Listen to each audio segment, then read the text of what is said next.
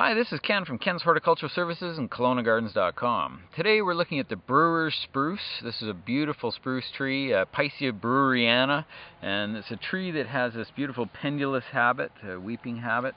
Uh, something is not a real common tree, uh, but you do see it uh, from time to time. Um, these plants are highly sought after for their beautiful uh, uh, pendulous effect. They're native to the northwestern United States and uh, just a really nice tree, a good one to have.